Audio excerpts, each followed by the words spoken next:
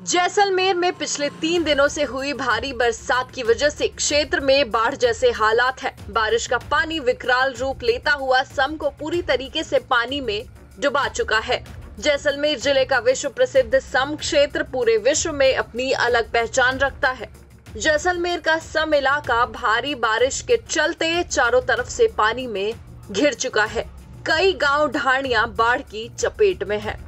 यहाँ तक कि राजस्थान के रेगिस्तानी इलाकों में बाढ़ जैसे हालात बने हुए हैं। भारत पाक बॉर्डर के 80 गाँवों का संपर्क टूट चुका है। ग्रिड सब स्टेशन तक पानी में डूब चुका है। पूरे इलाके में आपूर्ति बंद है। ज़्यादा प्रभावित इलाकों को खाली कराया जा रहा है। ट्रैक्टर से लोग सुरक्षित इलाकों तक पहुँच रहे हैं। जहाँ सम इलाके में पिछले पाँच साल से 190 एमएम औसत बारिश होती आई है, वहीं इस बार रिकॉर्ड तौर 590 एमएम बारिश दर्ज हुई है। सम तहसीलदार ने बताया कि औसत से ज़्यादा बारिश हुई है इस बार।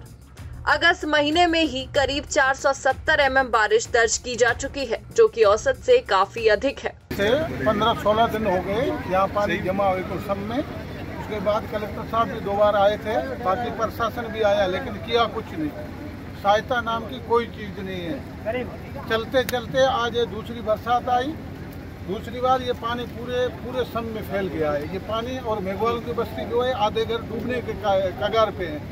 कोई भी सहायता नहीं मिल रही है नहीं कोई कुछ मतलब सोल्यूशन कुछ नहीं निकल रहा है। ऐसे ही कहते हैं उसके पास जाओ उसके पास जाओ सबके पास जाते हैं लेकिन हुआ कुछ नहीं। तो हमारा यही प्रशासन से निवेदन है कि अगर होता हो तो कह दो नहीं होता हो तो जवाब दे दो बस दिन छुट्टी।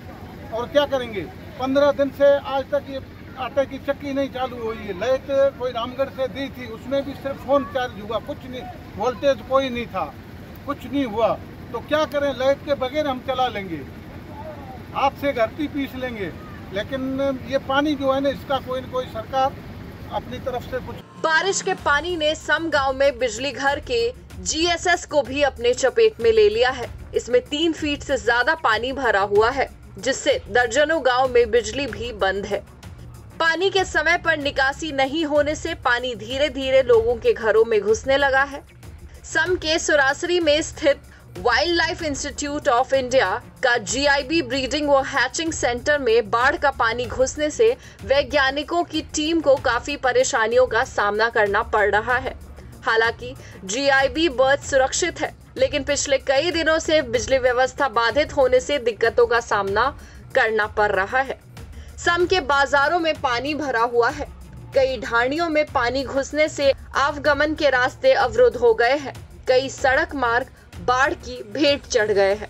मैं अजीना मेघवाल सम क्षेत्र से जिला परिषद सदस्य आज आप देख, अपन देख रहे हैं कि जो यहाँ दूसरे गाँव से पानी पूरे गाँव में तो पंद्रह दिन से भरा हुआ है।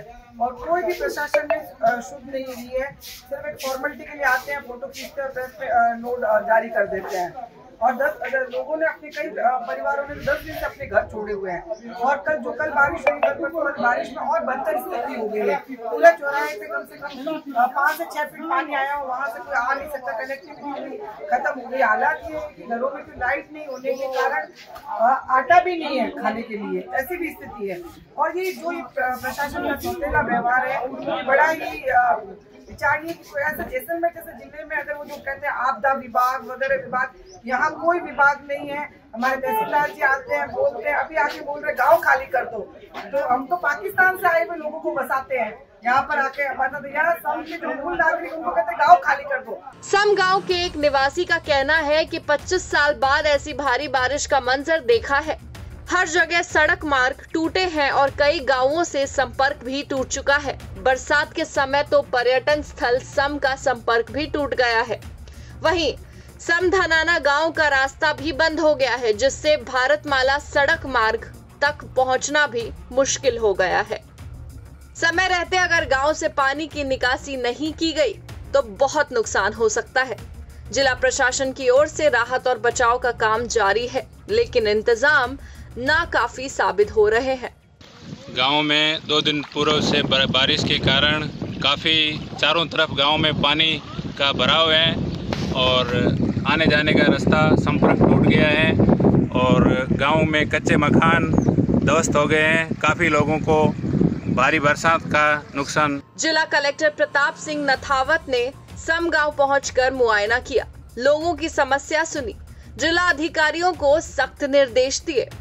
जिला कलेक्टर ने आमजन से अपील की है कि जल भराव की जगह से दूर रहे। वहीं जहाँ कहीं भी सूचना मिल रही है, जिला प्रशासन मौके पर रेस्क्यू कार्य कर रहा है। तबाही इतनी बड़ी है कि प्रशासन भी हर जगह पर मदद पहुँचाने में काफ़ी वक्त लगा रहा है। हालाँकि कलेक्टर ने खुद मौके पर जाकर मुआयना किया, मगर मीलों फैले इस ज़िले में हर जगह समय पर पहुँचने में काफ़ी समय लगता है। प्रभावित लोगों को आश्वासन दिया गया कि सरकार उनकी हर संभव मदद करेगी। स्थानीय अधिकारियों को राहत कार्य में तेज़ी लाने के निर्देश दिए गए हैं। जिला कलेक्टर ने कहा है कि हम अतिवृष्टि से प्रभावित लोगों की हर संभव मदद करेंगे। हमारी प्राथमिकता प्रभावित लोगों को राहत पहुंचाना और उनके जीवन को सामान्य बनाना है। तो वहीं दूसरी तरफ़ जैसलमेर के पोखरन ज़िले में इस साल हुई भारी बारिश में पिछले 28 सालों का रिकॉर्ड टूट गया है। पोखरन में पिछले हफ़्ते से लगातार बारिश जारी है। मौसम विभाग से मिली जानकारी के अनुसार अंतिम बार साल 1986 में एक साथ एक 176 एमएम बारिश दर्ज की गई थी, लेकिन उसके बाद से ऐसी भारी बारिश नहीं हुई है। इस बार मानसून की पहली बारिश 186 एमएम रही, जो रिकॉर्ड तोड़ने वाली बारिश साबित हुई। शहर में स्थित सालम सागर तालाब का पानी ओवरफ्लो होकर बाहर आने लगा। इस महीने पोखरन में कुल चार सौ चौरानवे एम बारिश हो चुकी है, जिससे शहर की नदियाँ, नाले और तालाब पानी से लबालब हो गए हैं। पोखरन के साथ भंडियाना, पदरौड़ा, सांगावेरा, मेड़वा ऊंच पदरा इंदिरा नगर रेतड़िया सहित कई गाँव में भी लगातार बारिश के बाद जल भराव की स्थिति हो गई है। प्रशासनिक अधिकारी मौके का जायजा ले रहे हैं। भड़ियाना में जल भराव को देखते हुए थाना अधिकारी देवाराम गोदारा और पंचायत अधिकारी जेसीबी की सहायता से पानी की निकासी का प्रयास कर रहे हैं। जैसलमेर से विमल भाटिया की रिपोर्ट।